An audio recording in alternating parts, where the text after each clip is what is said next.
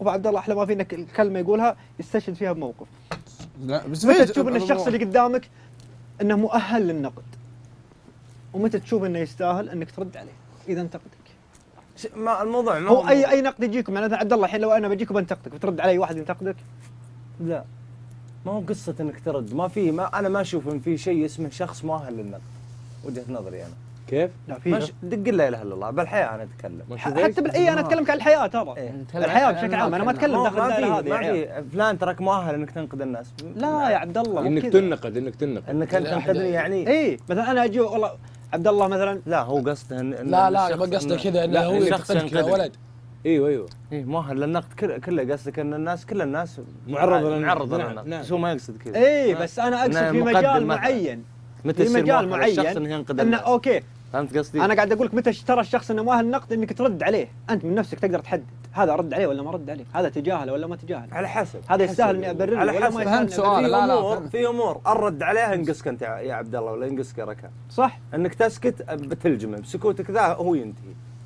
عنده مثل قبل قديم يقول أسفاني قطع مسلم والله فعلا. الحقراني يقطع هو صح؟ الحقران إيه حقران طيب. فأنا أقول لك في مواضيع إن رديت عليها أنت انقصك تتكلم بالصامت أنت. أنا ما أدري عنكم اليوم أنا آه. جالس الظاهر إني صرت منقل تقدر تهرج تقدر تلجم. وسكوتك يمكن يلجمك. لا والسكوت في بعض الأحيان يمكن أفضل من الرد.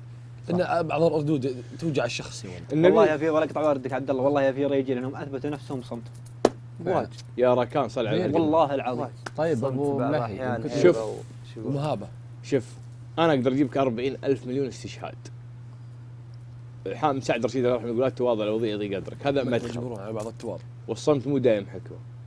وعمر بن الخطاب رضي الله عنه يقول إذا ضربت فأوجع. النبي صلى الله عليه وسلم أوذي مو نقد أوذي.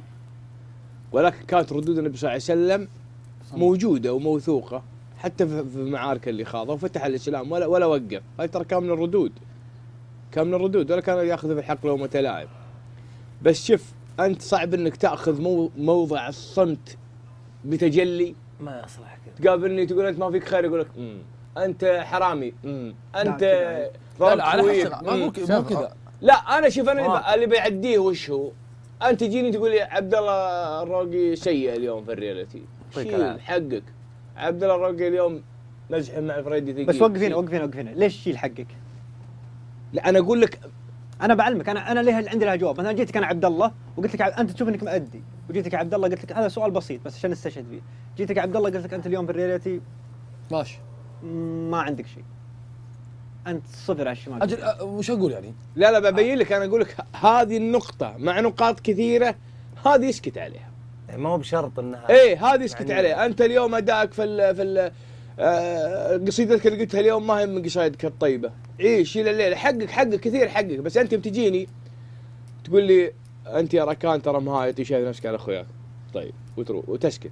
واقابلك في الخنقره واقولها واقابلك عند المطبخ واقولها واقابلك في لا لا. لا هنا تنطبق إذا وقف. ضربته فوجع. صح. على الشخص اللي مثل هذا كذا. هذا- ضربته فوجع ولا تخليها بينك وبينه. خلاص. هذا. عرفت خلها أمام الملأ نعم. مثل النوعية هذه خلها هذا صار ليه؟ معي. يسوي عشان كذا. يصير- أنا لهم شهر لهم شهر. يقولوا لي أنت الوزير أنت داخل مستثمر أنت مرسل ناس فالمستثمر يزودون على أخوياهم. سكت. أنا عارف عبد الله بس أنا ببين حتى للي برا. أنا يهمني ترى شعور الناس اللي تسمع. مرة مرتين ثلاثة أربعة ما عندك مشكلة هذه تطوفها. بس وصلت الخامسة والرجال مؤمنين إيمان كلي ومطلق. إني أنا مرسل ارسل مين أنا؟ في بيتنا أنا أرسل بعيالي أرسل. هذا كلام فاضي يا ولد. أنت مرسل وأنت عامل معلم ووزير على أخوياك وما أدري شلون. قلت أوكي. طلعت معاهم البارح طلوع. أنا والله لو دريت انه بيصير كذا والله ما طلعت. لكن خير خير. قلت أجل أنا مالي غير أجمع أخويا العيال هم العيال هم اللي يبينون الصورة أكثر مما ابينها إحنا اخوان ما. وبيض الله وجيههم قالوا لي خطرهم وجملهم وجملني خلاص الحين الحين ما حد له حجه ولا الكلام. صح. فهو على كلامك كثير أمور تقدر تسكت عنها. كثير ولازم تسكت عنها سواء في إعلام ولا في غير إعلام. يا حتى سلام. في حياتك الشخصية لازم. بس في نقاط ستوب. لا خلاص لازم هذه تفصلها تبينها.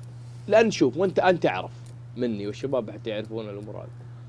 كل ما الناس قامت ت- ت- تنجحك في أمر ما وتعطيك وتسكت والله إني. صادق تظن إنك مسكين. ولا عندك سالفة وإنك متلبس التهمة اللي جاتك أنا أول قال القصيده من تفي صمت البريء يدخله في متاهة نعم نعم صمت أنت البريء إذا كنت أنت بريء وعندك دليل وما بين دليلك خلاص أنت متهم الآن أحيانا التبرير مطلوب. تهرج ذكرتني ب- ب- بحك الحكمة اللي تقول وشو حتى يثبت عكس ذلك إيش؟ الناس طيبون إلا أن يثبت عكس ذلك. مالك لوع لا كل الناس جيدين إلا اللي يثبت عكس ذلك. إلا أن ترى غير ذلك. شيء لا هي مو بك أنت جيد إلى لا لا. صبر. أنت قربتها يا رجال عقب حذفتها وطيرتني الحين بعد من شيء. ثاني. أنا كان بقول شيء وش الناس جيدون. عبد الله يفتح لي آفاق كثيرة عبد الله. أه، تسمح لي اشارك عن النقد ابو أنا من الأشخاص أسلم إيه. يعني أنتم تقول النقد أنا اسمع س- س- اسئلتكم انت قبل شوي سؤال كذا ما خاب ظني يعني مثلا هل كل نقد تستحق انك ترد عليه صح ولا لا؟ هذا كان سؤال حلو. أنا أشوف على حسب الأشخاص لها دور بعد يعني مثلا شخص غالي عندي شخص أه، يا أخي لا قل ما تعرف في الإعلام معك هو لا نقيس على الإعلام أنت تتكلم عن الساحة الإعلام. تتكلم عن الإعلام يعني. لا شوف الاعلام أنا بقول لك حاجة الاعلام لابد انك تشرب من كاس من شت كاس المر لابد انك تذوقه في الاعلام صح سواء حتى في الحياة العامه صل على النبي حتى في الحياة العامه شت كاس المر كل شيء فيه سلبي تذوقه. وإيجابي. صل على النبي اول شيء. هذا فيه وأنا كذا قرأت احمد. رفع صوتك أنا ارفع هو إيه، ترى قاهرني هو ما تشوفني قربت كذا إيه، بسمع أنا تبوني صايح سولف يا ركان اسمعني ركان شو ذا اسمع يا رجال أنتم اهم شيء المعنى يا حبيبي عطوا آه، أح- انت شو اسمك اليوم صدق ما ادري أنا بحاسبك شوي على حاجة سويتها طيب قبل شوي اوريك عطوا عطوا احمد خلي عوض. عطوا احمد عوض أوريك. ها أسلم. سحب البطاطين البطاطين يا معلم. أسلم ها الحين يعني في حتى يا أخي يقول لك بعضهم لا يقول لو, لو حبني واحد شيء لا غرابة. لو كره لا لو شيء عادي ولو كرهني واجد لا غرابة. الرسول اللي هو الرسول عليه الصلاة والسلام بعض الخواجه كفروا صح ولا خطا يعني هو ما سلم من الكلام. أنا أقول لك عشان كذا هذه حط القناعة براسك. وين وين سيف ابى أجيب كفو. أقول لهم خلاص كفو. لا خل خل خل الغداء عش- 20 دقيقة. أنا حكل حتى أنا جوعان بعد. كفو. بس عشان في في في شيء ثاني بعد نبي نسويه. يعني شوف كيف يا أبو ملهي. لا أنت يا سيف يعني ولد. آه، يعني أنت حط آه، الفكرة هذه براسك. صدقني حتى لو تشوف نقد النقد لازم تسمع منك سواء لو ما أنت آه، فيك نجاح أو ما نجاح ما راح أحد ينقدك. خذها قاعدة. وحط الكلام هذا براسك إن الرسول عليه الصلاة والسلام ما سلم من النقد والله أنك راح ترتاح داخليا. حاول انك تقنع نفسك داخليا. فالأمور طيبة أنا أدري إن عندك كلام واجد بس إنك توك قايم من النوم ولا انت بعرف كيف توصله. أنا حاس كذا. أنتم اي حاسين مثل إيه، في العيال؟ والله في واجد. ركان في في جوالك معك واكيد إنها مرت في الواتساب الواتساب طيب دايم هذه يجيبها. يقول استف